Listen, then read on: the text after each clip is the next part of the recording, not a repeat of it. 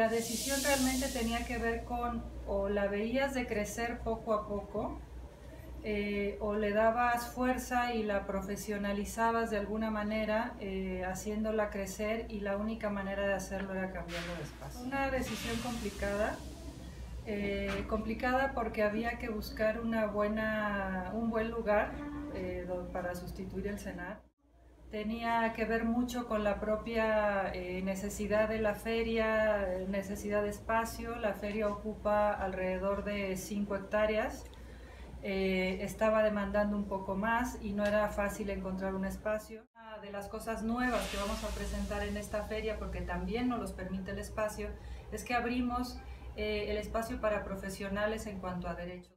Así como la parte de libros, digamos, de interés general, tiene dos grandes sedes a nivel profesional y es a principios de año Londres y a final de año Frankfurt. Aquí queremos hacer lo mismo con Bolonia a principios de año y con eh, México para finales de año.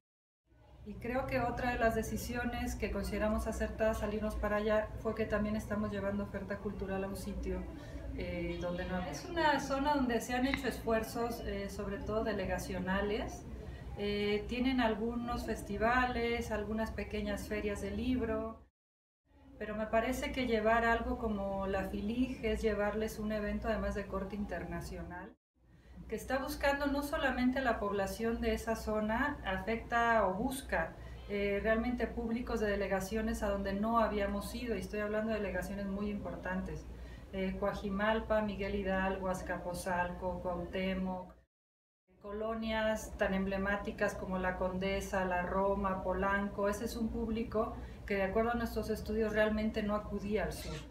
Gracias a esa ubicación geográfica también tocamos zonas del Estado de México, zonas además fronterizas con la Ciudad de México que son particularmente eh, delicadas y a donde eh, sí queremos llevar oferta cultural. Eh, es una colección pionera, es eh, una colección que cambió el rumbo de las cosas en cuanto a promoción lectora del libro infantil y juvenil. Y ese gran esfuerzo editorial junto con el esfuerzo de la FILIG me parece que han sido los dos detonantes del éxito que tiene ahora además a nivel internacional la literatura infantil y juvenil.